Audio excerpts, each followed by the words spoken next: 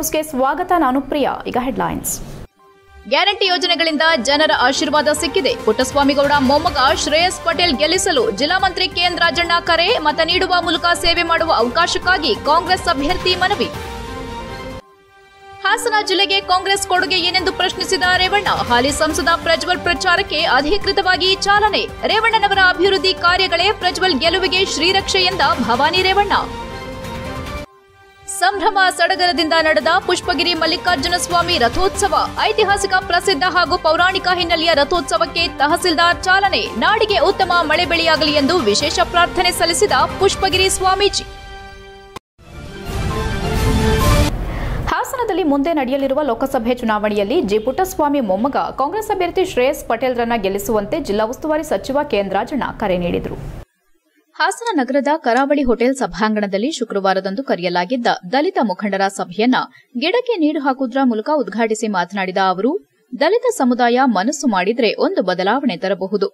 ಶಿವಲಿಂಗೇಗೌಡರ ಕ್ಷೇತ್ರದಲ್ಲಿ ಇಪ್ಪತ್ತು ಸಾವಿರ ಒಕ್ಕಲಿಗರಿರಬಹುದು. ದಲಿತರು ಮನಸ್ಸು ಮಾಡಿದರೆ ಏನ್ ಬೇಕಾದರೂ ಮಾಡಬಹುದು ಎನ್ನುವುದಕ್ಕೆ ನಾನು ಮತ್ತು ಶಿವಲಿಂಗೇಗೌಡ್ರೆ ಉದಾಹರಣೆ. ಪುಟಸ್ವಾಮಿ ಎಂದರೆ ದೇವರಂತಹ ಮನುಷ್ಯ ಎನ್ನುತ್ತಾರೆ. ಅಂತಹ ಸರಳ ಕುಟುಂಬದವರು ಚುನಾವಣೆಗೆ ಬಂದಿರುವುದು ನಮ್ಮ ಸೌಭಾಗ್ಯ. ಕಾಂಗ್ರೆಸ್ನಿಂದ ಐದು ಗ್ಯಾರಂಟಿ ನೀಡಲಾಗಿದ್ದು, ಬಡ ಕುಟುಂಬಗಳಿಗೆ ಅನುಕೂಲವಾಗಿದೆ. ಹಾಸನಾಂಬೆ ದರ್ಶನಕ್ಕೆ ಇಡೀ ಇತಿಹಾಸದಲ್ಲಿ ಇಷ್ಟೊಂದು ಜನ ಬಂದೇ ಇಲ್ಲ. ಆದರೆ ಕಾಂಗ್ರೆಸ್ ಸರ್ಕಾರ ಬಂದ ಮೇಲೆ ಇಷ್ಟೊಂದು ಜನ ಸೇರಿದ್ದಾರೆ. ಅನ್ನಭಾಗ್ಯ ಯೋಜನೆ, ಗೃಹಲಕ್ಷ್ಮಿ ಸೇರಿದಂತೆ ಹತ್ತು ಹಲವಾರು ಯೋಜನೆ ಜಾರಿ ಮಾಡಿ ಜನರ ಆಶೀರ್ವಾದ ಸಿಕ್ಕಿದೆ ಎಂದರು. ದಲಿತ ಸಮಾಜವಾಗಲಿ, ಯಾರೇ ಆಗಲಿ, ಕೆಳವರ್ಗ ಮತ್ತು ಮೇಲ್ವರ್ಗ ಎಂದು ಯಾರು ಮಾತನಾಡಬಾರದು. ಮಾತನಾಡಿದರೆ ನನಗೆ ಕೋಪ ಬರುತ್ತೆ ಎಂದು ಸಭೆಯಲ್ಲಿ ಮಾತನಾಡಿದ ದಲಿತ ಮುಖಂಡರ ಬಗ್ಗೆ ಬೇಸರ ವ್ಯಕ್ತಪಡಿಸಿದರು. ಮಕ್ಕಳಿಗೆ ಗುಣಮಟ್ಟದ ಶಿಕ್ಷಣ ಕೊಟ್ಟು ಸಮಾಜದಲ್ಲಿ ಉನ್ನತ ಮಟ್ಟಕ್ಕೆ ಹೋಗಲು ಅವಕಾಶ ನೀಡಿ ಈ ಬಾರಿ ದಲಿತರೆಲ್ಲ ಕಾಂಗ್ರೆಸ್ ಅಭ್ಯರ್ಥಿ ಶ್ರೇಯಸ್ ಪಟೇಲ್ರನ್ನ ಗೆಲ್ಲಿಸಬೇಕು. ಪುಟ್ಟಸ್ವಾಮಿಗೌಡರ ಮೊಮ್ಮಗನನ್ನ ಗೆಲ್ಲಿಸಿ ರಾಜ್ಯದಲ್ಲಿ ಇಪ್ಪತ್ತೆಂಟು ಕ್ಷೇತ್ರ ಗೆಲ್ಲಿಸಬೇಕು ಎಂದರು. ಗೃಹ ಮಂಡಳಿ ಅಧ್ಯಕ್ಷ ಕೆಎಂ ಶಿವಲಿಂಗೇಗೌಡ ಮಾತನಾಡಿ, ಈ ಬಾರಿ ಕಾಂಗ್ರೆಸ್ ಅಭ್ಯರ್ಥಿ ಶ್ರೇಯಸ್ ಪಟೇಲ್ ಅವರನ್ನ ಗೆಲ್ಲಿಸಿ ಹಾಸನ ರಾಜಕಾರಣದಲ್ಲಿ ಇತಿಹಾಸ ಬರೆಯಬೇಕು. ಅತಿ ಹೆಚ್ಚು ಮತಗಳ ಅಂತರದಲ್ಲಿ ಗೆಲ್ಲಿಸಲು ಮುಂದಾಗಬೇಕು ಎಂದರು. ಕಾಂಗ್ರೆಸ್ ಅಭ್ಯರ್ಥಿ ಶ್ರೇಯಸ್ ಪಟೇಲ್ ಮಾತನಾಡಿ, ನಿಮ್ಮ ಮನೆಮಗನಾಗಿ ನಿಮ್ಮೆಲ್ಲರ ಜೊತೆ ಇರುವೆ. ಜೆಡಿಎಸ್ ಪಕ್ಷದಲ್ಲಿ ಪ್ರಧಾನಿಯಾಗಿ, ಮುಖ್ಯಮಂತ್ರಿಯಾಗಿ ಹಾಗೂ ಜಿಲ್ಲಾ ಪಂಚಾಯಿತಿವರೆಗೂ ಜಿಲ್ಲೆಯ ಜನರು ಅವಕಾಶ ನೀಡಿದ್ದು, ಈ ಬಾರಿ ನನಗೆ ಅವಕಾಶ ಕೊಡುವುದರ ಮೂಲಕ ಸೇವೆ ಮಾಡುವ ಅವಕಾಶ ಕೊಡಿ ಎಂದು ಮನವಿ ಮಾಡಿದರು. ದಲಿತ ಸಂಘರ್ಷ ಸಮಿತಿ ರಾಜ್ಯ ಸಂಚಾಲಕ ಎಂ ಸೋಮಶೇಖರ್ ಮಾತನಾಡಿ, ಹಿಂದೆ ದೇವೇಗೌಡರನ್ನ ಪುಟ್ಟಸ್ವಾಮಿ ಸೋಲಿಸಿದ್ರು. ಈಗ ಅದೇ ಕುಟುಂಬದ ಶ್ರೇಯಸ್ ಪಟೇಲ್ ಅವರು ಪ್ರಜ್ವಲ್ ರೇವಣ್ಣರನ್ನ ಸೋಲಿಸಲಿದ್ದಾರೆ ಎಂದು ವಿಶ್ವಾಸ ವ್ಯಕ್ತಪಡಿಸಿದರು. ಕುಟುಂಬ ರಾಜಕಾರಣವು ಈ ಚುನಾವಣೆಯಲ್ಲಿ ಬದಲಾವಣೆಯಾಗಲಿದೆ. ದೌರ್ಜನ್ಯ ದಬ್ಬಾಳಿಕೆಯನ್ನ ಇಂದು ಜಿಲ್ಲೆಯಲ್ಲಿ ಕಾಣುತ್ತಿದ್ದೇವೆ. ಕೊನೆ ಕಾಣಿಸಲು ಶ್ರೇಯಸ್ ಪಟೇಲ್ ಅಂತಹ ನಾಯಕರು ನಮಗೆ ಬೇಕು. ಜಿಲ್ಲೆಯ ಜನರ ಅಭಿವೃದ್ಧಿಗೆ ಶ್ರಮಿಸಲಿದ್ದಾರೆ ಎಂದು ಹೇಳಿದರು. ಕಾರ್ಯಕ್ರಮದಲ್ಲಿ ದಲಿತ ಮುಖಂಡ ಎಚ್ಕೆ ಸಂದೇಶ್, ಮಾದಿಗ ದಂಡೋರಾದ ಮುಖಂಡ ವಿಜಯಕುಮಾರ್, ಕಾಂಗ್ರೆಸ್ ಮುಖಂಡ ಬನವಾಸೆ ರಂಗಸ್ವಾಮಿ ಎಚ್ಕೆ ಮಹೇಶ್, ಮುರಳೀಧರ್, ಪ್ರಚಾರ ಸಮಿತಿ ಅಧ್ಯಕ್ಷ ದೇವರಾಜೇಗೌಡ ವಾಲ್ಮೀಕಿ ಸಮಾಜದ ಜಿಒ ಮಹಾಂತಪ್ಪ, ದಲಿತ ಸಂಘರ್ಷ ಸಮಿತಿ ಮುಖಂಡ ರಾಜಶೇಖರ್ ಇತರರು ಉಪಸ್ಥಿತರಿದ್ದರು. HIN news Hassan.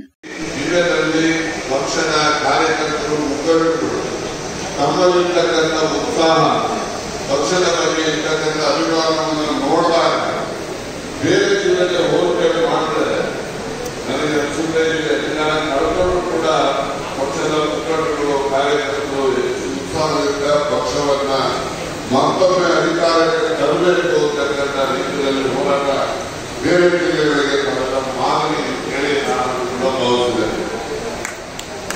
ನಮ್ಮ ಜಿಲ್ಲೆಯಲ್ಲಿ ನಾನು ನನ್ನ ತುಮಕೂರು ತಾಲೂಕಿನ ಹೇಳ್ತೀನಿ ಅದನ್ನ ಮಾಡಿಕೊಟ್ಟಿದ್ದೀರಿ, ನೀವು ಅದು ಯಾವ ವ್ಯಕ್ತಿಗಳೇ ದಲಿತ ನನ್ನನ್ನ ಈ ಆತಂಕದಲ್ಲಿ ರಾಜಕಾರಣದಲ್ಲಿ ಗುರುತಿಸಿರ್ತಕ್ಕಂಥದ್ದಲ್ಲಿ ನನ್ನ ಕ್ಷೇತ್ರದಲ್ಲಿ ಇವತ್ತು ಕೂಡ ಐವತ್ತು ಸಾವಿರ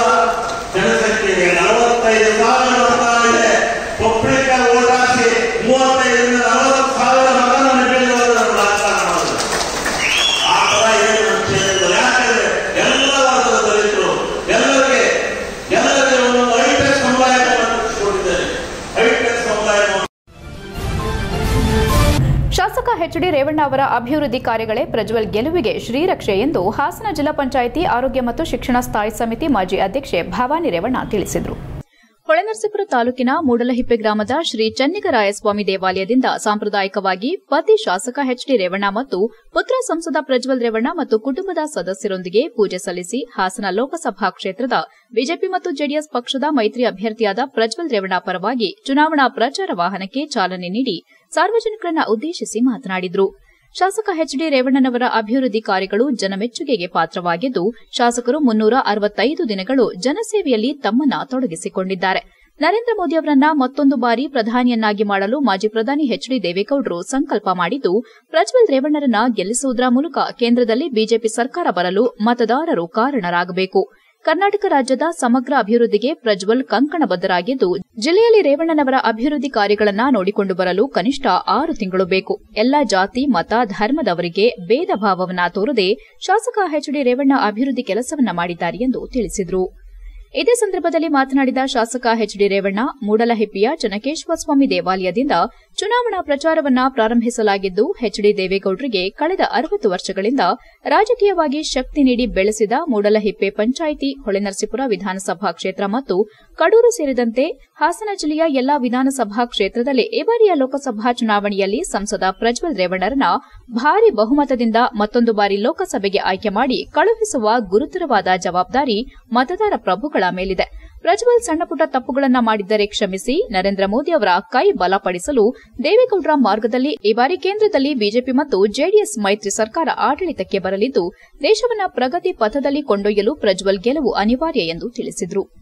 ಇದೇ ಸಂದರ್ಭದಲ್ಲಿ ಮಾತನಾಡಿದ ಪ್ರಜ್ವಲ್ ರೇವಣ್ಣ, ನರೇಂದ್ರ ಮೋದಿ ಮತ್ತು ಮಾಜಿ ಪ್ರಧಾನಿ ಎಚ್ಡಿ ದೇವೇಗೌಡರ ಮಾರ್ಗದರ್ಶನದಿಂದ ಕರ್ನಾಟಕ ಎಲ್ಲ ಇಪ್ಪತ್ತೆಂಟು ಲೋಕಸಭಾ ಕ್ಷೇತ್ರದಲ್ಲಿ ಬಿಜೆಪಿ ಮತ್ತು ಜೆಡಿಎಸ್ ಅಭ್ಯರ್ಥಿಗಳು ಜಯಭೇರಿ ಭಾರಿಸಲಿದ್ದಾರೆ ಎಂದು ಆತ್ಮವಿಶ್ವಾಸ ವ್ಯಕ್ತಪಡಿಸಿದರು.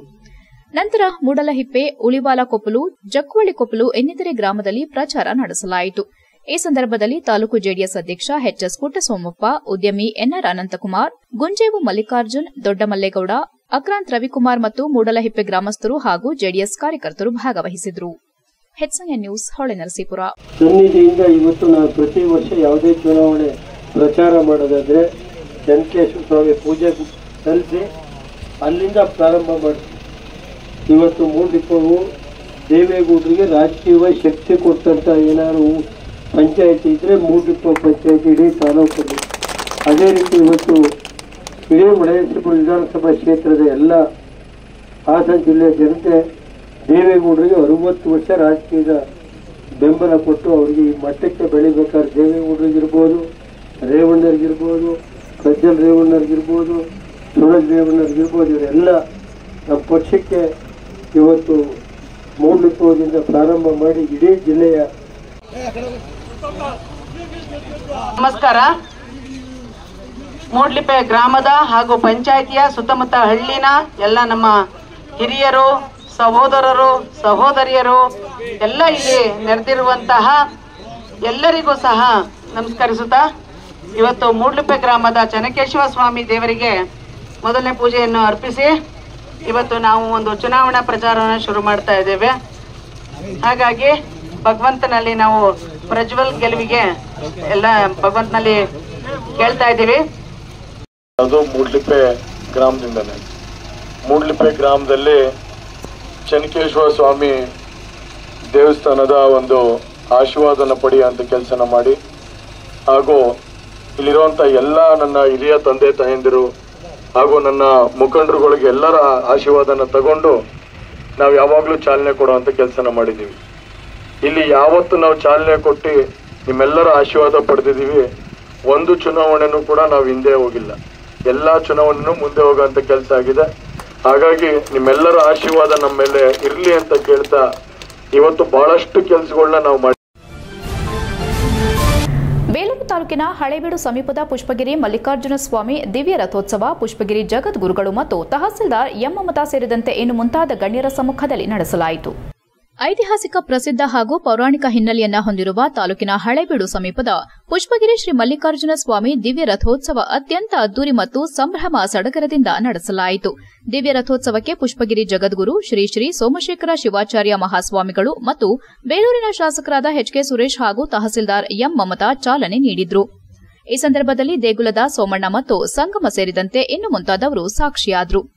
ಪ್ರತಿ ವರ್ಷಕ್ಕೊಮ್ಮೆ ನಡೆಯುವ ಪುಷ್ಪಗಿರಿ ಮಲ್ಲಿಕಾರ್ಜುನ ಸ್ವಾಮಿ ದಿವ್ಯ ರಥೋತ್ಸವಕ್ಕೆ ಮುನ್ನ ಶ್ರೀ ಮಲ್ಲಿಕಾರ್ಜುನ ಸ್ವಾಮಿ ಮತ್ತು ಶ್ರೀ ಪಾರ್ವತಮ್ಮ ಇವರಿಗೆ ಗಿರಿಜಾ ಕಲ್ಯಾಣೋತ್ಸವ ನಡೆಸಲಾಯಿತು. ಬಳಿಕ ಸ್ವಾಮಿಗೆ ರುದ್ರಾಭಿಷೇಕ ಮತ್ತು ಪುಷ್ಪಾಲಂಕಾರ ಹಾಗೂ ಮಹಾಮಂಗಳಾರತಿಯನ್ನ ತಟ್ಟೆಹಳ್ಳಿ ಗ್ರಾಮದ ಟಿಎಸ್ ಸೂರ್ಯನಾರಾಯಣ ಮತ್ತು ರಮೇಶ್ ಹಾಗೂ ಬ್ರಾಹ್ಮಣ ಮಹಾಸಭಾ ಶ್ರದ್ಧಾ ಭಕ್ತಿಯಿಂದ ನಡೆಸಿದ್ರು. ಬಳಿಕ ಶ್ರೀ ಮಲ್ಲಿಕಾರ್ಜುನ ಸ್ವಾಮಿ ಮತ್ತು ಪಾರ್ವತಮ್ಮ ದೇವರ ಉತ್ಸವ ಮೂರ್ತಿಯನ್ನ ದೇಗುಲದ ಸುತ್ತ ಪ್ರದಕ್ಷಿಣೆ ನಡೆಸಿ ರಥದ ಬಳಿ ತರಲಾಯಿತು. ಅಷ್ಟರಲ್ಲಿ ರಥವನ್ನ ಬೃಹತ್ ಹೂಮಾಲೆ ಮತ್ತು ಕೇಸರಿ ಬಾವುಟದಿಂದ ಶೃಂಗರಿಸಿದ ರಥಕ್ಕೆ ಸಂಪ್ರದಾಯದಂತೆ ಬಲಿ ನೀಡಿದ ತರುವಾಯ ರಥೋತ್ಸವಕ್ಕೆ ಚಾಲನೆ ನೀಡಿದ್ರು. ಈ ವೇಳೆ ಪುಷ್ಪಗಿರಿ ಜಗದ್ಗುರುಗಳು ಮತ್ತು ತಹಸೀಲ್ದಾರ್ ಯಮ್ಮಮತ ಏಡುಕಾಯಿ ಹೊಡೆಯುವ ಮೂಲಕ ಜಯ ಘೋಷದೊಂದಿಗೆ ಚಾಲನೆ ನೀಡಿದ್ರು. ಸ್ವತಃ ಪುಷ್ಪಗಿರಿ ಜಗದ್ಗುರುಗಳು ರಥದ ಹಗ್ಗವನ್ನ ಹಿಡಿದು ಎಳೆಯುವ ವೇಳೆ ಅಸಂಖ್ಯಾತ ಭಕ್ತರು ಕೂಡ ದೇಗುಲದ ಸುತ್ತ ರಥವನ್ನ ಎಳೆದು ಧನ್ಯರಾದ್ರು. ರಥ ಸಾಗುತ್ತಿದ್ದ ಸಂದರ್ಭದಲ್ಲಿ ಭಕ್ತರು ರಥದ ಮೇಲೆ ಬಾಳೆಹಣ್ಣೆಸೆದು ತಮ್ಮ ಹಾರಕೆಯನ್ನ ಕಟ್ಟಿಕೊಂಡ್ರು.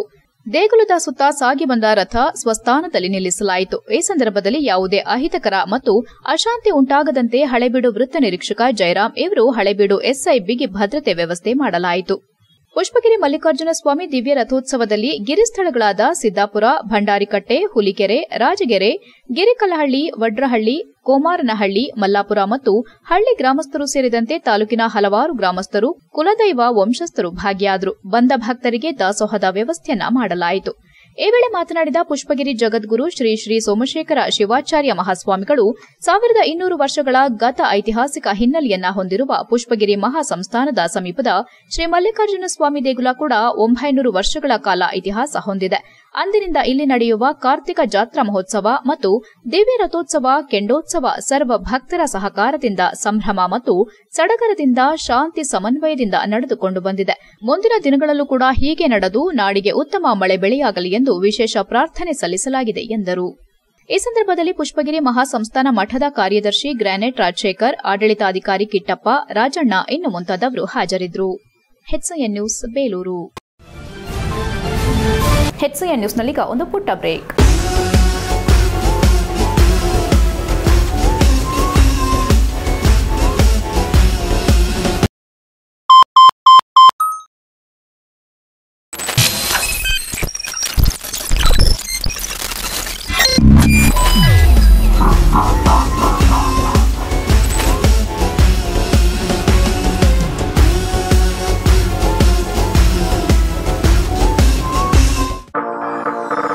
ಓ ರಮೇಶ. ಹಾಯ್ ಸುರೇಶ ನೀನೇನೋ ಇಲ್ಲಿ?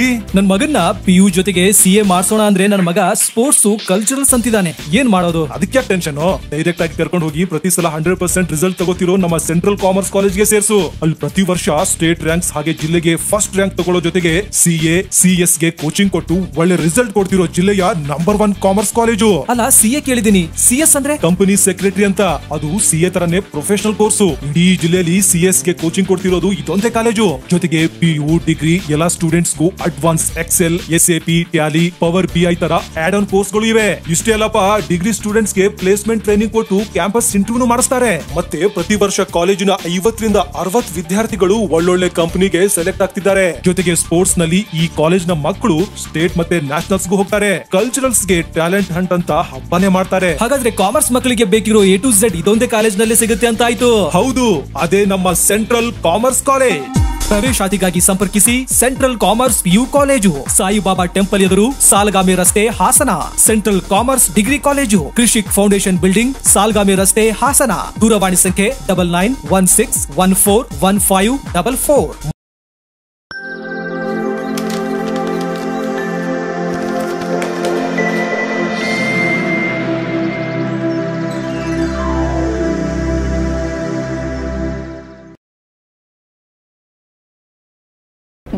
ಬ್ರೇಕ್ನ ನ್ಯೂಸ್ ನ್ಯೂಸ್ಗೆ ಸ್ವಾಗತ. ಬೇಲೂರು ಪಟ್ಟಣದ ಹೊಸನಗರ ತಿರುವಿನಲ್ಲಿ ಸ್ಯಾಂಟ್ರೋ ಕಾರ್ ಹಾಗೂ ಮಾರುತಿ ಸ್ವಿಫ್ಟ್ ಕಾರ್ಗಳ ನಡುವೆ ಮುಖಾಮುಖಿ ಡಿಕ್ಕಿಯಾಗಿ ಇಬ್ಬರಿಗೆ ತೀವ್ರತರವಾದ ಪೆಟ್ಟು ಬಿದ್ದಿದ್ದು, ಅದರಲ್ಲಿ ಒಬ್ಬ ಹಾಸನದ ಆಸ್ಪತ್ರೆಗೆ ಹೆಚ್ಚಿನ ಚಿಕಿತ್ಸೆಗೆ ಕರೆದೊಯ್ಯುವಾಗ ಮಾರ್ಗ ಮಧ್ಯದಲ್ಲೇ ಅಸುನೀಗಿದ್ದಾರೆ. ಸ್ಯಾಂಟ್ರೋ ಕಾರ್ ಹಾಸನಕ್ಕೆ ಹೋಗುತ್ತಿದ್ದು, ಸ್ವಿಫ್ಟ್ ಕಾರ್ ಹಾಸನದಿಂದ ಬೇಲೂರಿಗೆ ಬರುವಾಗ ಬೇಲೂರು ಪಟ್ಟಣದ ಹೊಸನಗರ ತಿರುವಿನಲ್ಲಿ ಚಾಲಕರ ಅಜಾಗರೂಕತೆಯಿಂದ ಈ ಘಟನೆ ಸಂಭವಿಸಿದೆ. ಗಂಭೀರವಾಗಿ ಗಾಯಗೊಂಡಿದ್ದ ಬೇಲೂರು ತಾಲೂಕು ಐರಬಳ್ಳಿ ಗ್ರಾಮದ ಮಲ್ಲೇಶ್ ಎಂಬುವರ ಮಗ, ಇಪ್ಪತ್ತಾರು ವರ್ಷದ ಮನೋಜ್ ಎಂಬುವರನ್ನ ಹೆಚ್ಚಿನ ಚಿಕಿತ್ಸೆಗೆ ಹಾಸನದ ಜಿಲ್ಲಾಸ್ಪತ್ರೆಗೆ ಕರೆದೊಯ್ಯುವ ವೇಳೆ ಮಾರ್ಗ ಮಧ್ಯದಲ್ಲೇ ಅಸುನೀಗಿದ್ದಾರೆ ಮತ್ತೊಂದು ಕಾರಿನ ಚಾಲಕ ಕಿಶನ್ ಅವರನ್ನ ಹೆಚ್ಚಿನ ಚಿಕಿತ್ಸೆಗೆ ಹಾಸನ ಜಿಲ್ಲಾಸ್ಪತ್ರೆಗೆ ಕರೆದೊಯ್ಯಲಾಯಿತು. ಬೇಲೂರು ಪೊಲೀಸರು ಸ್ಥಳಕ್ಕಾಗಮಿಸಿ ಪ್ರಕರಣ ದಾಖಲಿಸಿಕೊಂಡಿದ್ದಾರೆ. ಪ್ರತಿ ತಿಂಗಳು ಈ ರಸ್ತೆಯಲ್ಲಿ ವಾಹನ ಅಪಘಾತಗಳು ಸಂಭವಿಸಿ ಸಾವು ನೋವುಗಳು ಹೆಚ್ಚಾಗುತ್ತಿದ್ದು, ಸ್ಥಳೀಯರು ಕೂಡಲೇ ರಸ್ತೆ ತಡೆ ನಡೆಸಿ ಪ್ರತಿಭಟನೆ ನಡೆಸಿದ್ರು. HN news Belur. ಸ್ಪಾಟ್ ಆಗಿದೆ ಒಬ್ರು ಒಂದೆರಡು ಏಟ್ ಆಗಿದೆ ಸ್ಪಾಟ್ ಆಗಿದ್ದಾರೆ ಕಾರ್ ಮತ್ತೆ ಇಲ್ಲಿ ಅಂಪ್ಸ್ ಇಲ್ಲದ ಕಾರಣ ತುಂಬಾ ಹೇಟ್ ಆಗಿ, ತುಂಬಾ ಆಕ್ಸಿಡೆಂಟ್ ಆಗ್ತಾ ಆಗ್ತಿದೆ ಸರ್. ಈಗ ಮೂರು ತಿಂಗಳು ತಿಂಗಳಿಗೊಂದು ಆಕ್ಸಿಡೆಂಟ್ ಆಗಿ ಆಗ್ತಾನೆ ಇದೆ. ಮುಂದಿನ ಕ್ರಮ ಏನಾದ್ರೆ P W P N H ಅವರು ಏನು ಕ್ರಮ ತಗೊಂಡು ನಮ್ಮ ನಾವೆಲ್ಲರ ಮನವಿ ಮಾಡ್ತಿದ್ವಿ ಪ್ರೆಸೆಂಟ್ ಆಗಿ ಹಂಪ್ಸ್ ಆಗಲಿ ಅದನ್ನು ನಾವು ಮನೆ ಮಾಡ್ತಿದ್ವಿ ನಿಮಗೆ. ಇದನ್ನು ಕೂಡ ಈ ಬಗ್ಗೆ ನಾವು ತುಂಬಾ ಹೋರಾಟ ಮಾಡಿದ್ದೀವಿ ಆದ್ರಿಂದ ಇದ್ರ ಮೇಲೆ ಯಾವುದು ಯಾವ ಡಿಪಾರ್ಟ್ಮೆಂಟ್ ಕ್ರಮ ತಗೊಂಡಿಲ್ಲ. ಇನ್ನು ಮುಂದೆ ಇವತ್ತಿಂದ ಎರಡು ದಿವಸದೊಳಗೆ ಹಂಸ ಹಾಕಿ ಎಲ್ಲ ಕೊಟ್ಟೆಗೊಳಿಸಿ ಸರಿಯಾಗುತ್ತೆ. ಇಲ್ಲ ಅಂದ್ರೆ ಮುಂದಿನ ಕೆಲಸ ಹೋರಾಟ ಮಾಡ್ತೇವೆ. ಎಲ್ಲ ಅಧಿಕಾರಿ ಸಂಬಂಧಪಟ್ಟ ಡಿ ಡಬ್ಲ್ಯೂ ಡಿ ಡಬ್ಲ್ಯೂ ಎಫ್ಗೆ ಮತ್ತೆ ಎನ್ ಎಸ್ಗೆ ಇದಿಲ್ಲಪ್ಪ ಹಂಸ. ನಗರದ ಹಿಮ್ ಸಭಾಂಗಣದ ನಾಲ್ಕನೇ ಮಹಡಿಯಲ್ಲಿ ಮಾರ್ಚ್ ಇಪ್ಪತ್ಮೂರು ಮತ್ತು ಇಪ್ಪತ್ನಾಲ್ಕರಂದು ಸ್ವರಾಂಜಲಿ ಎನ್ನುವ ರಾಜ್ಯಮಟ್ಟದ ವೈದ್ಯರ ಹಾಗೂ ವೈದ್ಯಕೀಯ ವಿದ್ಯಾರ್ಥಿಗಳ ಕನ್ನಡ ಚಲನಚಿತ್ರಗೀತೆಗಳ ಸ್ಪರ್ಧೆ ಆಯೋಜಿಸಲಾಗಿದೆ ಎಂದು ಭಾರತೀಯ ವೈದ್ಯಕೀಯ ಸಂಘದ ಅಧ್ಯಕ್ಷ ಡಾಕ್ಟರ್ ಎಚ್ಆರ್ ದೇವದಾಸ್ ಹಾಗೂ ಸಾಂಸ್ಕೃತಿಕ ಸಮಿತಿ ಅಧ್ಯಕ್ಷ ಡಾಕ್ಟರ್ ಎಸ್ಆರ್ ಕುಮಾರ್ ತಿಳಿಸಿದರು. ಹಾಸನದಲ್ಲಿ ಮಾತನಾಡಿ, ಭಾರತೀಯ ವೈದ್ಯಕೀಯ ಸಂಘ, ವೈದ್ಯಕೀಯ ವಿಜ್ಞಾನಗಳ ಸಂಸ್ಥೆ ಇವರ ಸಂಯುಕ್ತಾಶ್ರಯದಲ್ಲಿ ರಾಜ್ಯ ಮಟ್ಟದ ವೈದ್ಯರ ಹಾಗೂ ವೈದ್ಯಕೀಯ ವಿದ್ಯಾರ್ಥಿಗಳ ಕನ್ನಡ ಚಲನಚಿತ್ರ ಗೀತೆಗಳ ಸ್ಪರ್ಧೆಯನ್ನು ಹಮ್ಮಿಕೊಳ್ಳಲಾಗಿದೆ. ಕಾರ್ಯಕ್ರಮದ ಉದ್ಘಾಟನೆಯನ್ನ ಹಿಮ್ಸ್ ನಿರ್ದೇಶಕ ಡಾಕ್ಟರ್ ಎಸ್ಬಿ ಸಂತೋಷ್ ನೆರವೇರಿಸುವರು. ಅಧ್ಯಕ್ಷತೆಯನ್ನ ಭಾರತೀಯ ವೈದ್ಯಕೀಯ ಸಂಘದ ರಾಜ್ಯ ಶಾಖೆ ಅಧ್ಯಕ್ಷ ಡಾಕ್ಟರ್ ಎಸ್ ಶ್ರೀನಿವಾಸ್, ಗೌರವ ಕಾರ್ಯದರ್ಶಿ ಡಾಕ್ಟರ್ ಬಿಪಿ ಕರುಣಾಕರ್, ಜಂಟಿ ಕಾರ್ಯದರ್ಶಿ ಡಾಕ್ಟರ್ ಎಂ ವೆಂಕಟಾಚಲಪತಿ, ಉಪಾಧ್ಯಕ್ಷ ಡಾಕ್ಟರ್ ಪವನ್ ಕುಮಾರ್ ಪಟೇಲ್ ಇತರರು ಪಾಲ್ಗೊಳ್ಳಲಿದ್ದಾರೆ ಎಂದರು. ಇನ್ನು ರಾಜ್ಯದ ವಿವಿಧ ಜಿಲ್ಲೆಗಳಿಂದ ಒಟ್ಟು ನಾನೂರಕ್ಕೂ ಹೆಚ್ಚು ವೈದ್ಯರು ಆಗಮಿಸಲಿದ್ದು, ಈ ಸ್ಪರ್ಧೆಯಲ್ಲಿ ಪಾಲ್ಗೊಳ್ಳುವುದಾಗಿ ಹೇಳಿದರು. ಹಿಮ್ಸ್ ನಿರ್ದೇಶಕ ಡಾಕ್ಟರ್ ಎಸ್ವಿ ಸಂತೋಷ್, ಭಾರತೀಯ ವೈದ್ಯಕೀಯ ಸಂಘದ ಸಾಂಸ್ಕೃತಿಕ ಸಮಿತಿ ಅಧ್ಯಕ್ಷ ಡಾಕ್ಟರ್ ಎಸ್ಆರ್ ಕುಮಾರ್, ಕಾರ್ಯದರ್ಶಿ ಡಾಕ್ಟರ್ ದಿನೇಶ್ ಭೈರೇಗೌಡ, ಉಪಾಧ್ಯಕ್ಷೆ ಡಾಕ್ಟರ್ ಎ ಸಾವಿತ್ರಿ ಇತರರು ಉಪಸ್ಥಿತರಿದ್ದರು. ನ್ಯೂಸ್, ಹಾಸನ್. ನಾವು ಬಂದಿರೋ ಉದ್ದೇಶ ಏನಪ್ಪ ಅಂತ ಅಂದರೆ ನಮ್ಮ ಕರ್ನಾಟಕ ರಾಜ್ಯ ವೈದ್ಯಕೀಯ ಸಂಘ, ಕರ್ನಾಟಕ ಶಾಖೆಯ ವತಿಯಿಂದ ಸ್ವರಾಂಜಲಿ ಅಂತ ಒಂದು ವಿನೂತನ ಕಾರ್ಯಕ್ರಮ ಹಾಕ್ಕೊಂಡಿದ್ವಿ ತಮಗೆಲ್ಲ ತಿಳಿದಿರ್ಬೋದು ವೈದ್ಯರು ನಮ್ಮ ಯಾವಾಗಲೂ ಕಾನ್ಫರೆನ್ಸ್ಗಳು ಮಾಡ್ತಾ ಇರ್ತೀವಿ. ಪ್ರತಿ, ನಮ್ಮ ವೈದ್ಯರಲ್ಲಿ ಹಾಗೂ ವೈದ್ಯಕೀಯ ವಿದ್ಯಾರ್ಥಿಗಳಲ್ಲಿ ಹಲವಾರು ಪ್ರತಿಭೆಗಳಿದೆ. ಅದು ಕ್ರೀಡೆ ಆಗಿರ್ಬೋದು, ಕಲೆ ಆಗಿರ್ಬೋದು ಅಥವಾ ಸಂಗೀತ ಆಗಿರ್ಬೋದು. ನಾವು ಇದು ಪ್ರಥಮ ಬಾರಿಗೆ ರಾಜ್ಯ ಮಟ್ಟದ ಒಂದು ಸಂಗೀತ ಕಾರ್ಯಕ್ರಮವನ್ನು ನಡೆಸ್ತಾ ಇದ್ದೀವಿ. ಇದರ ಹೆಸರು ಸ್ವರಾಂಜಲಿ ಅಂತೇಳಿ. ಇದರಲ್ಲಿ ಯಾರ್ಯಾರು ಪಾರ್ಟಿಸಿಪೇಟ್ ಮಾಡ್ತಾರೆ ಅಂತಂದರೆ ಕರ್ನಾಟಕ ರಾಜ್ಯಾದ್ಯಂತ ಐ ಎಂ ಎ ಮೆಂಬರ್ಸ್ ಆಗಿದ್ದಾರೆ ಯಾರ್ಯಾರು ಹಾಗೂ ವೈದ್ಯಕೀಯ ವಿದ್ಯಾರ್ಥಿಗಳು ಹಾಗೂ ಅವರ ಕುಟುಂಬದವರು ಇದರಲ್ಲಿ ಭಾಗವಹಿಸ್ತಾ ಇದ್ದಾರೆ. ಇದು ನಮ್ಮ ಭಾರತೀಯ ಹಾಸನ್ ಮೆಡಿಕಲ್ ಕಾಲೇಜ್ ಸಹಯೋಗದೊಂದಿಗೆ ನಮ್ಮ ಭಾರತೀಯ ವೈದ್ಯಕೀಯ ಸಂಘ ಇದನ್ನು ಆಯೋಜಿಸಿದೆ.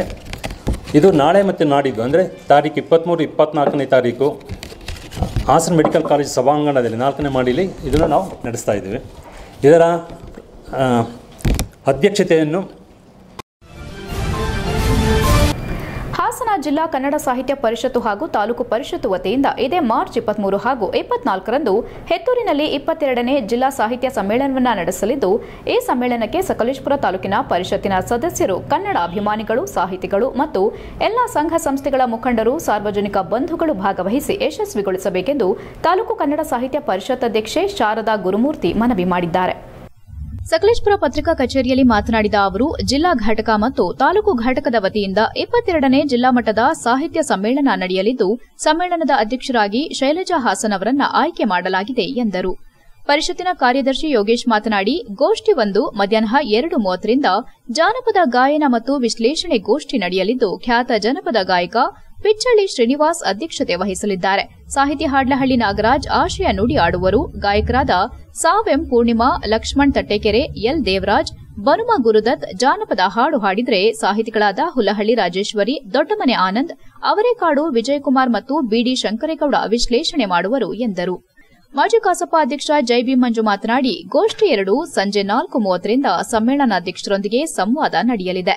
ಸಮ್ಮೇಳನಾಧ್ಯಕ್ಷರಾದ ಶೈಲಜಾ ಹಾಸನ್ ಅವರು ಅಧ್ಯಕ್ಷತೆ ವಹಿಸಲಿದ್ದು, ಕವಯಿತ್ರಿ ಸುಜಲಾದೇವಿ ಪ್ರಧಾನ ಸಂವಾದಕರಾಗಿ ಭಾಗಿಯಾಗುವರು. ಕಸಾಪ ಪದಾಧಿಕಾರಿಗಳು, ಸಾಹಿತಿಗಳು, ಸಂವಾದಕರಾಗಿ ಹಾಜರಿರುವರು. ಎಂಟು ಮಂದಿ ಕಸಾಪ ಮಾಜಿ ಅಧ್ಯಕ್ಷರು ಗೌರವ ಉಪಸ್ಥಿತಿ ಇರುವರು ಎಂದರು. ನಂತರ ಭರತನಾಟ್ಯ ಹಾಗೂ ಸಾಂಸ್ಕೃತಿಕ ಕಾರ್ಯಕ್ರಮ ನಡೆಯಲಿದ್ದು, ರಾಜ್ಯ ಒಕ್ಕಲಿಗರ ಸಂಘದ ನಿರ್ದೇಶಕ ಎಸ್ಎಸ್ ರಘುಗೌಡ ಉದ್ಘಾಟನೆ ನೆರವೇರಿಸುವರು ಎಂದರು. ಮೀನಾಕ್ಷಿ ಖಾದರ್ ಹಾಜರಿದ್ದರು ನ್ಯೂಸ್, ಸಕಲೇಶ್ಪುರ. ಜಿಲ್ಲಾ ಜಿಲ್ಲಾ ಸಮ್ಮೇಳನವನ್ನು ಬಹಳ ಅದ್ದೂರಿಯಿಂದ, ವೈಭವವಾಗಿ ಹಮ್ಮಿಕೊಂಡಿದ್ದೇವೆ ಜಿಲ್ಲಾ ಸಾಹಿತ್ಯ ಪರಿಷತ್ತು ಸಹಕಾರದಿಂದ ನಾವು ಕನ್ನಡ ಸಾಹಿತ್ಯ ಪರಿಷತ್ತು ಈ ಕಾರ್ಯಕ್ರಮ ನಿರ್ವಹಿಸ್ತಾ ಇದೆ. ಇಪ್ಪತ್ನಾಲ್ಕನೇ ತಾರೀಕು ಬೆಳಗ್ಗೆ ಎಂಟು ಗಂಟೆಯಿಂದ ಕಾರ್ಯಕ್ರಮ ಉದ್ಘಾಟನೆ ಇರುತ್ತೆ. ಸಕಲೇಶ್ವರದ ಅಧಿಕ ಉನ್ನತ ಅಧಿಕಾರಿಗಳು ಭಾಗವಹಿಸುತ್ತಾರೆ ಸಾಧಕರಿಗೆ ಸನ್ಮಾನ ಉಂಟು. ಮತ್ತು ಸಾಂಸ್ಕೃತಿಕ ಕಾರ್ಯಕ್ರಮಗಳು ಹಳ್ಳಿಯಲ್ಲಿ ಯಾಕೆ ಮಾಡಬೇಕು ಅಂತ ಗ್ರಾಮಾಂತರ ಪ್ರದೇಶದಲ್ಲಿ ಮಾಡಿದಾಗ ಸಾಹಿತ್ಯ ಸಂಭ್ರಮದ ಸಂತೋಷವನ್ನು ಅವರುಗಳು ಸಹ ನೋಡಿ ಆನಂದಿಸಿ ಅಂತ ಆ ಉದ್ದೇಶದಿಂದ ಜಿಲ್ಲಾ ಸಾಹಿತ್ಯ ಪರಿಷತ್ ಅಧ್ಯಕ್ಷರಾದ ಮಲ್ಲೇಶ್ ಗೌಡರು ಈ ನಮ್ಮ ಸಕಲೇಶ್ಪುರದ ನಾಲ್ಕು ಹೋಬಳಿಯಲ್ಲಿ ಹೆಚ್ಚೂರನ್ನು ಆಯ್ಕೆ ಮಾಡಿಕೊಂಡಿದ್ದಾರೆ. ಹೆಚ್ಚೂರಿನಲ್ಲಿ ತುಂಬ ಸಂಭ್ರಮದಿಂದ ಕಾರ್ಯಕ್ರಮಗಳನ್ನು ಸ್ವೀಕರಿಸುತ್ತಾರೆ. ಈಗಾಗಲೇ ಗೊತ್ತಿರೋ ಹಾಗೆ ಇಪ್ಪತ್ತ ಮೂರು ಮತ್ತು ಇಪ್ಪತ್ತ್ನಾಲ್ಕು ಮಾರ್ಚ್ ಹಾಸನ ಜಿಲ್ಲಾ ಕನ್ನಡ ಸಾಹಿತ್ಯ ಸಮ್ಮೇಳನವನ್ನು ಎತ್ತೂರು ಹೋಬಳಿಯಲ್ಲಿ ಮಾಡಬೇಕು ಅಂತ ಈಗಾಗಲೇ ಜಿಲ್ಲಾ ಸಮಿತಿ ಮತ್ತು ಎಲ್ಲ ತಾಲೂಕು ಪದಾಧಿಕಾರಿಗಳ ಒಂದು ಸಮ್ಮುಖದಲ್ಲಿ ತೀರ್ಮಾನ ಆಗಿದೆ. ಅದೇ ರೀತಿಯಾಗಿ ಎತ್ತೂರಿನಲ್ಲಿ ಈ ಒಂದು ಕಾರ್ಯಕ್ರಮ ಕನ್ನಡದ ಜಾತ್ರೆ ಅದ್ದೂರಿಯಾಗಿ ನಡೀತಾ ಇದೆ ಈ ಒಂದು ಹಾಸನ ಜಿಲ್ಲಾ ಕನ್ನಡ ಸಾಹಿತ್ಯ ಸಮ್ಮೇಳನಕ್ಕೆ ಹಾಸನ ಜಿಲ್ಲೆಯ ಎಲ್ಲ ಸಾಹಿತ್ಯಾಸಕ್ತರು ಮತ್ತು ಕನ್ನಡಾಭಿಮಾನಿಗಳು ಹಾಗೂ ಎಲ್ಲ ಸಾರ್ವಜನಿಕ ಬಂಧುಗಳು. ಹೆಚ್ಸಿಎನ್ ನ್ಯೂಸ್ನಲ್ಲೀಗ ಒಂದು ಪುಟ್ಟ ಬ್ರೇಕ್.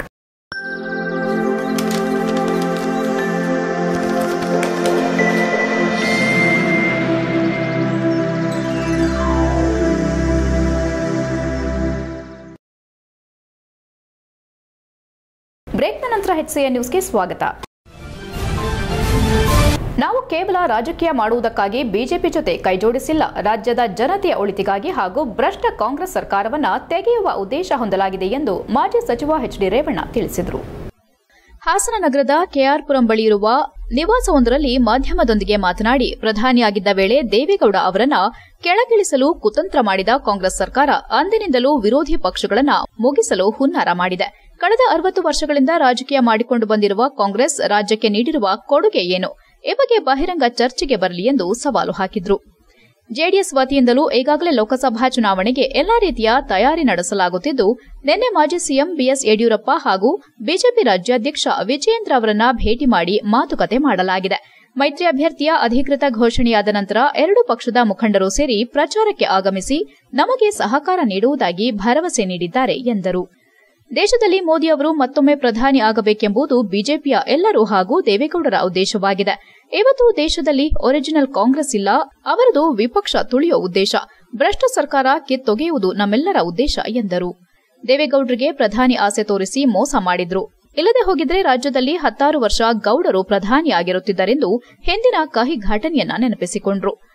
ನಮ್ಮ ವಿರುದ್ಧ ಇಲ್ಲಸಲ್ಲದ ಆರೋಪ ಮಾಡುತ್ತಿರುವ ಕಾಂಗ್ರೆಸ್ನವರ ಕೊಡುಗೆ ಜಿಲ್ಲೆಗೆ ಏನು ಎಂಬುದನ್ನು ಜನರ ಮುಂದಿಡಲಿ ಎಂದು ಸವಾಲು ಹಾಕಿದ್ರು. ಪ್ರಜ್ವಲ್ ಎಂಪಿಯಾದ ನಂತರ ಹಾಸನ ಜಿಲ್ಲೆಗೆ ಏನೇನು ಕೊಡುಗೆ ನೀಡಿದ್ದಾರೆ ಎಂಬುದನ್ನ ಇಡೀ ಜಿಲ್ಲೆಯ ಜನ ನೋಡಿದ್ದಾರೆ. ಆದರೆ ಅರವತ್ತು ವರ್ಷ ಆಳ್ವಿಕೆ ನಡೆಸಿರುವ ಕಾಂಗ್ರೆಸ್ ನೀಡಿರುವ ಕೊಡುಗೆ ಏನೆಂದು ಪ್ರಶ್ನೆ ಮಾಡಿ ಆಕ್ರೋಶ ವ್ಯಕ್ತಪಡಿಸಿದ್ರು. ನ್ಯೂಸ್ ಹಾಸನ್. ಚುನಾವಣೆನೂ ಇಪ್ಪತ್ತಾರನೇ ತಾರೀಕು, ಏಪ್ರಿಲ್ ಇಪ್ಪತ್ತಾರಕ್ಕೆ ಈಗಾಗಲೇ ರಾಷ್ಟ್ರೀಯ ಚುನಾವಣಾ ಆಯೋಗ ಈಗ ಘೋಷಣೆ ಮಾಡಿದೆ. ಈಗ ಈ ರಾಜ್ಯದಲ್ಲಿ ಇವತ್ತು ದೇವೇಗೌಡರು, ಸನ್ಮಾನ್ಯ ಯಡಿಯೂರಪ್ಪ ಸಾಹೇಬರು, ಸನ್ಮಾನ್ಯ ರಾಜ್ಯದ ಅಧ್ಯಕ್ಷರಾದಂಥ ವಿಜಯೇಂದ್ರ ಅವರು ಬಿ ಜೆ ಪಿಯ ಹಲವಾರು ಮುಖಂಡರುಗಳು, ಮಾಜಿ ಮುಖ್ಯಮಂತ್ರಿಗಳು ಇದ್ದಾರೆ ಅಲ್ಲಿ ಮಂತ್ರಿಗಳು, ವಿರೋಧ ಪಕ್ಷದ ನಾಯಕರು ಅಶೋಕಣ್ಣ ಮತ್ತು ಎಲ್ಲ ಸನ್ಮಾನ್ಯ ಮಿತ್ರರಿದ್ದಾರೆ. ಇವತ್ತು ಒಂದೇ ಉದ್ದೇಶ ಯುವಕ ಯುವತಿಯರು ಸ್ವಯಂ ಪ್ರೇರಣೆಯಿಂದ ರಕ್ತದಾನ ಶಿಬಿರಗಳಲ್ಲಿ ಪಾಲ್ಗೊಳ್ಳುವ ಮೂಲಕ ಜವಾಬ್ದಾರಿಯುತ ನಾಗರಿಕರಾಗಿ ರೂಪುಗೊಳ್ಳಬೇಕೆಂದು ಸಾರ್ವಜನಿಕ ಆಸ್ಪತ್ರೆಯ ರಕ್ತ ನಿಧಿ ಕೇಂದ್ರದ ಮುಖ್ಯಸ್ಥೆ ಡಾ ರೇಖಾ ತಿಳಿಸಿದರು. ಅವರು ಹೊಳೆನರಸೀಪುರ ಪಟ್ಟಣದ ಸರ್ಕಾರಿ ಗೃಹ ವಿಜ್ಞಾನ ಕಾಲೇಜಿನಲ್ಲಿ ವಾಸವಿ ಕ್ಲಬ್, ಪತಂಜಲಿ ಯೋಗಕೂಟ ಹಾಗೂ ಸರ್ಕಾರಿ ನರ್ಸಿಂಗ್ ಕಾಲೇಜಿನ ಸಹಯೋಗದಲ್ಲಿ ಆಯೋಜಿಸಿದ್ದ ಉಚಿತ ಆರೋಗ್ಯ ತಪಾಸಣೆ ಹಾಗೂ ರಕ್ತದಾನ ಶಿಬಿರ ಉದ್ಘಾಟಿಸಿ ಮಾತನಾಡಿದರು. ಸಾರ್ವಜನಿಕರು ವಿದ್ಯಾರ್ಥಿಗಳು ಪ್ರತಿ ಮೂರು ತಿಂಗಳಿಗೊಮ್ಮೆ ರಕ್ತದಾನ ಮಾಡಿದರೆ ರಕ್ತದಾನ ಮಾಡಿದವರ ಆರೋಗ್ಯ ಉತ್ತಮವಾಗುತ್ತದೆ. ಜೊತೆಗೆ ಒಬ್ಬರ ರಕ್ತದಿಂದ ಮೂರು ಜನರ ಪ್ರಾಣ ಉಳಿಸಲು ಸಹಕಾರಿಯಾಗುತ್ತದೆ. ರಕ್ತದಲ್ಲಿರುವ ಕೊಬ್ಬಿನ ಅಂಶ ಕಡಿಮೆಯಾಗುತ್ತದೆ. ಶೇಕಡಾ ಎಂಬತ್ತರಷ್ಟು ಹೃದಯಾಘಾತ ತಪ್ಪಿಸಬಹುದು. ಬಿಳಿ ರಕ್ತ ಕಣಗಳ ಉತ್ಪತ್ತಿ ಹೆಚ್ಚಾಗುತ್ತದೆ ಎಂದು ಇಲ್ಲಿನ ಸರ್ಕಾರಿ ಆಸ್ಪತ್ರೆಯ ರಕ್ತ ನಿಧಿ ಕೇಂದ್ರದ ಡಾ. ರೇಖಾ ವಿವರಿಸಿದ್ರು. ರಕ್ತವನ್ನ ತಯಾರಿಸಲು ಸಾಧ್ಯ ಇಲ್ಲದೇ ಇರುವುದರಿಂದ ಅಗತ್ಯ ಸಮಯದಲ್ಲಿ ಮತ್ತೊಬ್ಬರಿಗೆ ರಕ್ತ ನೀಡಬೇಕು. ಅಗತ್ಯ ಸಮಯದಲ್ಲಿ ರಕ್ತ ಸಿಗದೆ ಅನೇಕರು ಪ್ರಾಣ ಕಳೆದುಕೊಂಡಿದ್ದಾರೆ. ಆದ್ದರಿಂದ ಯುವಕರು ಹೆಚ್ಚೆಚ್ಚು ರಕ್ತದಾನ ಮಾಡಿ ನಿಮ್ಮ ಆರೋಗ್ಯ ಕಾಪಾಡಿಕೊಂಡು ಜನರ ಪ್ರಾಣ ಉಳಿಸಿ ಎಂದರು. ಸರ್ಕಾರಿ ಆಸ್ಪತ್ರೆಯ ಆಡಳಿತ ವೈದ್ಯಾಧಿಕಾರಿ ಡಾಕ್ಟರ್ ಧನಶೇಖರ್ ಮಾತನಾಡಿ, ಇಂದಿನ ದಿನಗಳಲ್ಲಿ ಅನೇಕ ಕಾರಣಗಳಿಂದ ಹೆಚ್ಚು ಜನರು ಅನಾರೋಗ್ಯದಿಂದ ಬಳಲುತ್ತಿದ್ದಾರೆ. ಅದರಿಂದ ಮೂವತ್ತೈದು ವರ್ಷ ದಾಟಿದವರು ಮೇಲಿಂದ ಮೇಲೆ ಆರೋಗ್ಯ ತಪಾಸಣೆ ಮಾಡಿಸಿಕೊಂಡು ಅಗತ್ಯ ಸಮಯದಲ್ಲಿ ಚಿಕಿತ್ಸೆ ಪಡೆದು ಆರೋಗ್ಯ ಕಾಪಾಡಿಕೊಳ್ಳಿ ಎಂದರು. ಈ ಆರೋಗ್ಯ ಶಿಬಿರದ ಅಂಗವಾಗಿ ಏರ್ಪಡಿಸಿದ್ದ ಸ್ಪರ್ಧೆಯಲ್ಲಿ ವಿಜೇತರಾದವರಿಗೆ ಇದೇ ಸಂದರ್ಭದಲ್ಲಿ ಬಹುಮಾನ ವಿತರಿಸಿದ್ರು. ವಾಸವಿ ಕ್ಲಬ್ ಅಧ್ಯಕ್ಷ ರೋಹಿತ್, ರೋಟರಿ ಸಂಸ್ಥೆ ಕಾರ್ಯದರ್ಶಿ ವೆಂಕಟೇಶ್, ನರ್ಸಿಂಗ್ ಕಾಲೇಜಿನ ಪ್ರಾಂಶುಪಾಲ ಚಂದ್ರಶೇಖರ್, ಪ್ರಾಂಶುಪಾಲೆ ಆಶಾ ಜ್ಯೋತಿ, ಹಾಸನ ವೈದ್ಯಕೀಯ ಮಹಾವಿದ್ಯಾಲಯದ ರಕ್ಷಾ, ಪತಂಜಲಿ ಯೋಗಕೂಟದ ಗಣೇಶ್ ಬಾಬು ಭಾಗವಹಿಸಿದ್ರು. ಪ್ರಾಧ್ಯಾಪಕ ಡಾಕ್ಟರ್ ಕೃಷ್ಣಮೂರ್ತಿ ಕಾರ್ಯಕ್ರಮ ನಿರೂಪಿಸಿದ್ರು. ನ್ಯೂಸ್, ಹೊಳೆನರಸೀಪುರ.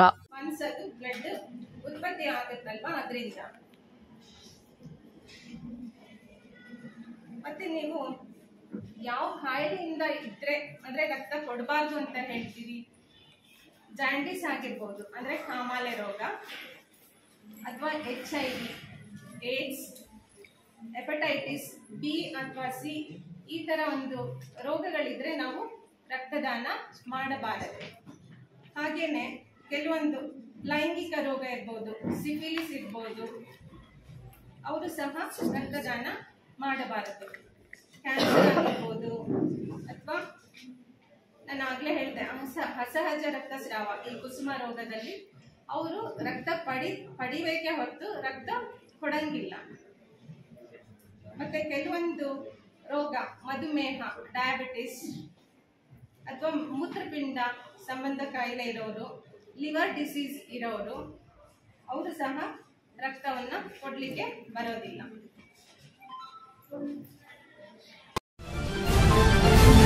ಹೆಚ್ಐಎನ್ ನ್ಯೂಸ್ನಲ್ಲೀಗ ಒಂದು ಪುಟ್ಟ ಬ್ರೇಕ್.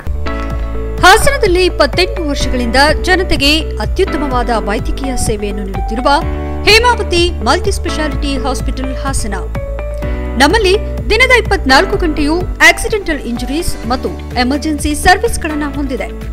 ಹೇಮಾವತಿ ಆಸ್ಪತ್ರೆಯ ಡಾಕ್ಟರ್ ನಿಖಿಲ್ ಆರ್ಭಟ್ ರವರು ಎಂಎಸ್ ಆರ್ಥೋಪೆಡಿಕ್ನಲ್ಲಿ ಚಿನ್ನದ ಪದಕ ಪಡೆದು ಸಿಂಗಾಪುರ್ ಜನರಲ್ ಹಾಸ್ಪಿಟಲ್ನಲ್ಲಿ ಫೆಲೋಶಿಪ್ ಇನ್ ಜಾಯಿಂಟ್ ರಿಪ್ಲೇಸ್ಮೆಂಟ್ ಸರ್ಜರಿಯ ಪದವಿ ಪಡೆದು ಸೇವೆಯನ್ನ ಸಲ್ಲಿಸಿರುತ್ತಾರೆ.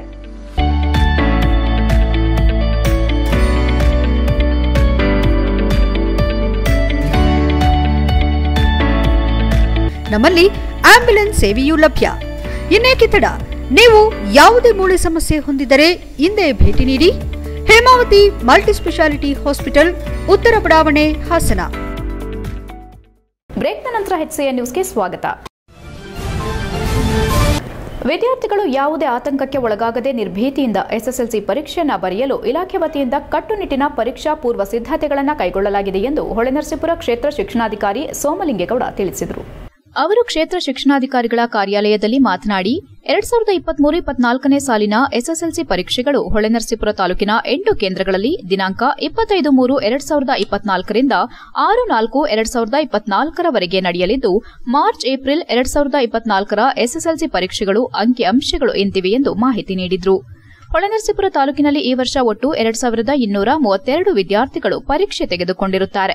ಇದರಲ್ಲಿ ಬಾಲಕರು ಸಾವಿರದ ಅರವತ್ತೆರಡು ಮತ್ತು ಬಾಲಕಿಯರು ಸಾವಿರದ ನೂರ ಎಪ್ಪತ್ತು ನೋಂದಾಯಿಸಿರುತ್ತಾರೆ. ಇದರಲ್ಲಿ ಎರಡ್ ಸಾವಿರದ ನೂರ ಎಂಬತ್ತೆರಡು ಶಾಲಾ ವಿದ್ಯಾರ್ಥಿಗಳು ಹಾಗೂ ನಾಲ್ಕು ಪುನರಾವರ್ತಿತ ಅಭ್ಯರ್ಥಿಗಳು ತಾಲೂಕಿನ ಪರೀಕ್ಷಾ ಕೇಂದ್ರಗಳಲ್ಲಿ ಪರೀಕ್ಷೆ ಬರೆಯುತ್ತಿದ್ದು, ಖಾಸಗಿಯಾಗಿ ನಲವತ್ತಾರು ಅಭ್ಯರ್ಥಿಗಳು ಪರೀಕ್ಷೆ ತೆಗೆದುಕೊಂಡಿದ್ದು, ಇವರಿಗೆ ಈ ಸಾಲಿನಲ್ಲಿ ಹೊಳೆನರಸೀಪುರ ತಾಲೂಕಿನ ಪರೀಕ್ಷಾ ಕೇಂದ್ರದಲ್ಲಿ ಪರೀಕ್ಷೆ ಬರೆಯಲು ಅವಕಾಶ ಮಾಡಿಕೊಡಲಾಗಿದೆ. ಎಲ್ಲ ಎಂಟು ಪರೀಕ್ಷಾ ಕೇಂದ್ರಗಳಲ್ಲಿ ಯಾವುದೇ ಅಹಿತಕರ ಘಟನೆಗಳು ನಡೆಯದಂತೆ ಮುನ್ನೆಚ್ಚರಿಕಾ ಕ್ರಮವಾಗಿ ಪರೀಕ್ಷಾ ದಿನಗಳಂದು ಕೇಂದ್ರಗಳಿಗೆ ಪೊಲೀಸ್ ಸಿಬ್ಬಂದಿಯನ್ನು ನಿಯೋಜಿಸುವಂತೆ ಮನವಿ ಪತ್ರ ಸಲ್ಲಿಸಲಾಗಿದೆ. ಪ್ರತಿ ಪರೀಕ್ಷಾ ಕೇಂದ್ರಗಳಲ್ಲಿ ಸಿಸಿಟಿವಿಗಳನ್ನು ಅಳವಡಿಸಲಾಗಿದ್ದು, ಪರೀಕ್ಷೆಯು ಸುಸೂತ್ರವಾಗಿ ನಡೆಯುವಂತೆ ಕ್ರಮ ವಹಿಸಲಾಗಿದೆ. ಎಲ್ಲ ಕೇಂದ್ರಗಳಲ್ಲಿ ಕುಡಿಯುವ ನೀರು, ಶೌಚಾಲಯ, ಆಸನದ ವ್ಯವಸ್ಥೆಯನ್ನ ಮಾಡಿಕೊಳ್ಳಲಾಗಿದೆ. ಈಗಾಗಲೇ ಪ್ರಶ್ನೆ ಪತ್ರಿಕೆಗಳು ಸರಬರಾಜಾಗಿದ್ದು, ಅವುಗಳನ್ನು ಸಂರಕ್ಷಿಸಿಡಲಾಗಿದೆ. ಎಲ್ಲಾ ಪರೀಕ್ಷಾ ಕೇಂದ್ರಗಳಿಗೆ ಸಿಎನ್ಆರ್ ಎಎಂಎಲ್ ಉತ್ತರ ಪತ್ರಿಕೆಗಳನ್ನು ಹಾಗೂ ಪರೀಕ್ಷಾ ಗೌಪ್ಯ ಸಾಮಗ್ರಿಗಳನ್ನು ವಿತರಿಸಲಾಗಿದೆ ಎಂದು ತಿಳಿಸಿದರು. ತಾಲೂಕಿನ ಎಂಟು ಪರೀಕ್ಷಾ ಕೇಂದ್ರಗಳಲ್ಲಿ ಒಬ್ಬರು ಸಿಬ್ಬಂದಿಗಳ ಸೇವೆಯನ್ನು ಒದಗಿಸುವಂತೆ ಆರೋಗ್ಯ ಇಲಾಖೆಗೆ ಕೋರಲಾಗಿದೆ ಎಂದರು. HIN news Holenarasipura. ಕ್ಷೇತ್ರ ಶಿಕ್ಷಣಾಧಿಕಾರಿ ಹೊಳೇಶ್ವರ ಪ್ರಸಕ್ತ ಎರಡು ಸಾವಿರದ ಇಪ್ಪತ್ತ್ಮೂರು ಇಪ್ಪತ್ನಾಲ್ಕನೇ ಸಾಲಿನ ಶೈಕ್ಷಣಿಕ ವರ್ಷದಲ್ಲಿ ದಿನಾಂಕ ಇಪ್ಪತ್ತೈದು, ನಾಲ್ಕು, ಮೂರು, ಎರಡು ಸಾವಿರದ ಇಪ್ಪತ್ತ್ನಾಲ್ಕರಿಂದ ಆರು, ನಾಲ್ಕು, ಎರಡು ಸಾವಿರದ ಇಪ್ಪತ್ತ್ನಾಲ್ಕರವರೆಗೆ ಎಸ್ ಎಲ್ ಸಿ ಪರೀಕ್ಷೆ ನಡೀತಾ ಇದೆ. ನಮ್ಮ ಬ್ಲಾಕ್ನಲ್ಲಿ ಒಟ್ಟು ಎರಡು ಸಾವಿರದ ಇನ್ನೂರ ಮೂವತ್ತೆರಡು ಮಕ್ಕಳು ನೋಂದಾಯಿಸ್ಕೊಂಡಿದ್ದಾರೆ. ಈ ಮಕ್ಕಳಲ್ಲಿ ಸಾವಿರದ ಅರವತ್ತೆರಡು ಗಂಡು ಮಕ್ಕಳು ಸಾವಿರದ ನೂರ ಎಪ್ಪತ್ತು ಹೆಣ್ಮಕ್ಳು ಇದ್ದಾರೆ ಇದರಲ್ಲಿ ಶಾಲಾ ವಿದ್ಯಾರ್ಥಿಗಳು ಅಂಥೇಳಿ ಎರಡು ಸಾವಿರದ ನೂರ ಎಂಬತ್ತೆರಡು ಮಕ್ಕಳಿದ್ದಾರೆ ಮತ್ತು ಕಳೆದ ವರ್ಷ ಫೇಲಾಗಿ ಉಳಿದಂಥ ನಾಲ್ಕು ಮಕ್ಕಳು ಪರೀಕ್ಷೆಯನ್ನು ಬರೀತಿದ್ದಾರೆ. ಇದ್ರ ಜೊತೆಗೆ ಈ ವರ್ಷ ಖಾಸಗಿ ಅಭ್ಯರ್ಥಿಗಳು ಅಂಥೇಳಿ ಜಿಲ್ಲಾ ಕೇಂದ್ರದಲ್ಲಿ ಅವರಿಗೆ ಪರೀಕ್ಷೆಗೆ ಅವಕಾಶ ಮಾಡಿಕೊಡ್ತಾ ಇದ್ರು. ಈಗ ಯಾವ್ಯಾವ ಶಾಲಿನಲ್ಲಿ ಖಾಸಗಿ ಅಭ್ಯರ್ಥಿಗಳು ಪರೀಕ್ಷೆಯನ್ನು ನೋಂದಾಯಿಸ್ಕೊಂಡಿದ್ದಾರೋ, ಪರೀಕ್ಷೆಗೆ ನೋಂದಾಯಿಸ್ಕೊಂಡಿದ್ದಾರೋ ಆಯಾ ತಾಲೂಕಿನಲ್ಲಿ ಅವರಿಗೆ ಅವಕಾಶ ಮಾಡಿಕೊಟ್ಟಿದ್ದಾರೆ. ಈ ಥರದ ವಿದ್ಯಾರ್ಥಿಗಳು, ನಲವತ್ತಾರು ವಿದ್ಯಾರ್ಥಿಗಳು ಈ ಪರೀಕ್ಷೆನ ತಗೊಂಡಿದ್ದಾರೆ. ಇದ್ರ ಜೊತೆಗೆ ವಿಶೇಷ ವಿಕಲಚೇತನ ಮಕ್ಕಳು ನಮ್ಮ ತಾಲೂಕಿನಲ್ಲಿ ನಲವತ್ತೈದು ಮಕ್ಕಳಿದ್ದಾರೆ. ಒಟ್ಟು ಎಂಟು ಪರೀಕ್ಷಾ ಕೇಂದ್ರಗಳಲ್ಲಿ ಎರಡು ಸಾವಿರದ ಇನ್ನೂರ ಮೂವತ್ತೆರಡು ಮಕ್ಕಳು ಪರೀಕ್ಷೆಯನ್ನು ಬರೀಲಿಕ್ಕೆ ಸಿದ್ಧತೆ ಮಾಡಿಕೊಂಡಿದ್ದಾರೆ. ಪರೀಕ್ಷೆ ಇಪ್ಪತ್ತೈದು ಮೂರು ಎರಡು ಸಾವಿರದ ನಾಲ್ಕು. ನಗರದ ಹಾಸನಾಂಬ ಕಲಾಕ್ಷೇತ್ರದಲ್ಲಿ ರಂಗಸಿರಿ ಆಯೋಜಿಸಿರುವ ಕಾಲೇಜು ರಂಗೋತ್ಸವವನ್ನು ಮಾರ್ಚ್ ಇಪ್ಪತ್ನಾಲ್ಕರಿಂದ ಇಪ್ಪತ್ತೇಳರವರೆಗೂ ನಾಲ್ಕು ದಿನಗಳ ಕಾಲ ಹಮ್ಮಿಕೊಳ್ಳಲಾಗಿದೆ ಎಂದು ರಂಗಸಿರಿಯ ಕಾರ್ಯದರ್ಶಿ ಪಿ ಶೆಡ್ರಾಕ್ ತಿಳಿಸಿದರು. ಹಾಸನದಲ್ಲಿ ಮಾತನಾಡಿ, ವಿ. ಸತೀಶ್ ಎಚ್ಡಿ ಗುರುಪ್ರಸಾದ್, ಶ್ರೀನಿವಾಸ್ ಕೊಟ್ಟೂರು ಈ ಮಹನೀಯರ ನೆನಪಿನಲ್ಲಿ ನುರಿತ ತಜ್ಞರಿಂದ ಅನೇಕ ತರಬೇತಿ ಕೊಡುತ್ತಾ, ರಂಗಸಿರಿಯು ಅನೇಕ ನಾಟಕವನ್ನ, ಕಾಲೇಜು ವಿದ್ಯಾರ್ಥಿಗಳಿಗೆ ಶಿಬಿರವನ್ನ ಪ್ರತಿ ವರ್ಷ ಏರ್ಪಡಿಸುತ್ತಾ ಬಂದಿದೆ. ಕಳೆದ ನಾಲ್ಕು ವರ್ಷಗಳಿಂದ ಕೋವಿಡ್ ಕಾರಣದಿಂದ ಈ ಚಟುವಟಿಕೆ ಸ್ವಲ್ಪ ನಡೆಸಲಾಗಿರಲಿಲ್ಲ. ಈ ಬಾರಿ ನಾವು ಮತ್ತೆ ರಂಗ ಚಟುವಟಿಕೆಯನ್ನ ಕೈಗೆತ್ತಿಕೊಂಡು ಸುಮಾರು ಐದು ಕಾಲೇಜುಗಳಿಗೆ ನಾಟಕವನ್ನ ಕಲಿಸುತ್ತಾ ಪ್ರಯೋಗವನ್ನ ಮಾರ್ಚ್ ಇಪ್ಪತ್ನಾಲ್ಕರಿಂದ ಇಪ್ಪತ್ತೇಳರವರೆಗೂ ನಾಲ್ಕು ದಿನಗಳಲ್ಲಿ ಆರು ನಾಟಕವನ್ನ ಹಾಸನಾಂಬ ಕಲಾಕ್ಷೇತ್ರದಲ್ಲಿ ಪ್ರತಿದಿನ ಸಂಜೆ ಆರು ಗಂಟೆಯಿಂದ ಪ್ರದರ್ಶನಗೊಳ್ಳಲಿದೆ. ಈ ಕಾಲೇಜು ರಂಗೋತ್ಸವದಲ್ಲಿ ಹನ್ನೊಂದು ಜನ ಕಾಲೇಜು ಪದವೀಧರರು ತರಬೇತಿ ನೀಡಿದ್ದು ಉತ್ತಮವಾದ ನಾಟಕ ರಚನೆ ಮತ್ತು ಪ್ರಯೋಗ ಸಿದ್ದವಾಗಿದೆ ಎಂದರು. ಹಿಂದೆ ಪತ್ರಕರ್ತರ ಸಂಘದ ಜೊತೆಗೂಡಿ ಅನೇಕ ಯಶಸ್ವಿ ಕಾರ್ಯಕ್ರಮಗಳನ್ನು ಮಾಡಿಕೊಂಡು ಬಂದಿದೆ. ಈ ಬಾರಿ ರಂಗಸಿರಿ ಕಾರ್ಯಕ್ರಮದಲ್ಲಿ ಸರ್ಕಾರಿ ಕಲಾ ಕಾಲೇಜು, ಮಹಿಳಾ ಕಾಲೇಜು, ಗೃಹ ವಿಜ್ಞಾನ ಕಾಲೇಜು, ನವಕೇಸ್ ತಾಂತ್ರಿಕ ಕಾಲೇಜು, ಜ್ಞಾನಧಾರೆ ಪ್ಯಾರಾಮೆಡಿಕಲ್ ಕಾಲೇಜು ಸೇರಿ ಒಟ್ಟು ಐದು ಕಾಲೇಜುಗಳಿಂದ ಐದು ವಿಭಿನ್ನ ನಾಟಕಗಳನ್ನು ತಯಾರು ಮಾಡಿ ಪ್ರದರ್ಶನಗೊಳ್ಳಲಿದೆ. ರಂಗಸಿರಿಯಿಂದ ದಿವಂಗತ ಲಂಕೇಶ್ ರವರ ನನ್ನ ತಂಗಿಗೊಂದು ಗಂಡು ಕೊಡಿ ಎನ್ನುವ ನಾಟಕ ಪ್ರದರ್ಶನಗೊಳ್ಳಲಿದೆ. ಉದ್ಘಾಟನೆಯನ್ನ ಲಂಕೇಶ್ ಪುತ್ರ ಇಂದ್ರಜಿತ್ ಲಂಕೇಶ್ ಹಾಗೂ ರಾಜ್ಯ ಕಾರ್ಯನಿರತ ಪತ್ರಕರ್ತರ ಸಂಘದ ಅಧ್ಯಕ್ಷ ಶಿವಾನಂದ ತಗಡೂರು ಭಾಗವಹಿಸಲಿದ್ದಾರೆ. ಮಾರ್ಚ್ ಇಪ್ಪತ್ತೇಳರ ಮುಕ್ತಾಯ ಸಮಾರಂಭಕ್ಕೆ ವಿಶ್ವ ರಂಗಭೂಮಿ ದಿನದಂದು ತಂಗಿಕೊಂಡು ಗಂಡು ಕೊಡಿ ಈ ನಾಟಕದಲ್ಲಿ ಹಾಸನ ಜಿಲ್ಲೆಯ ಹಿರಿಯ ಮತ್ತು ಸಿನಿಮಾ ಕ್ಷೇತ್ರದಲ್ಲಿ ಪ್ರಸಿದ್ಧಿ ಪಡೆದಿರುವ ಹಿರಿಯ ನಟ ದೊಡ್ಡಣ್ಣರವರು ಪಾಲ್ಗೊಳ್ಳಲಿದ್ದಾರೆ. ವಿವಿಧ ಕಾಲೇಜಿನ ಪ್ರಾಂಶುಪಾಲರು, ಜಿಲ್ಲಾ ಮಟ್ಟದ ಹಿರಿಯ ಅಧಿಕಾರಿಗಳು ಸಹ ಈ ಸಮಾರಂಭದಲ್ಲಿ ಭಾಗವಹಿಸಲಿದ್ದಾರೆ ಎಂದರು. ಶಿಬಿರದ ನಿರ್ದೇಶಕ ಅನಿಲ್ ರೇವೂರ್ ಮಾತನಾಡಿ, ಮಾರ್ಚ್ ಇಪ್ಪತ್ನಾಲ್ಕರ ಮೊದಲ ದಿನದಂದು ನಿರ್ದೇಶಕ ಸಂತೋಷ ದಿಂಡಗೂರು ನಿರ್ದೇಶನದ ಸಂಕಮನ ಸಾಲು ನಾಟಕ ಪ್ರದರ್ಶನಗೊಳ್ಳಲಿದೆ. ಸುಣ್ಣದ ಸುತ್ತು ನಾಟಕವು ಮಹೇಶ್ ಆಚಾರ್ಯ ನಿರ್ದೇಶನದಲ್ಲಿ ನಡೆಯಲಿದೆ. ವಿನೀತ್ ಕುಮಾರ್ ನಿರ್ದೇಶನದ ವಿಗಡ ವಿಕ್ರಮರಾಯ ನಾಟಕ ಪ್ರದರ್ಶನವಾಗಲಿದೆ ಎಂದರು.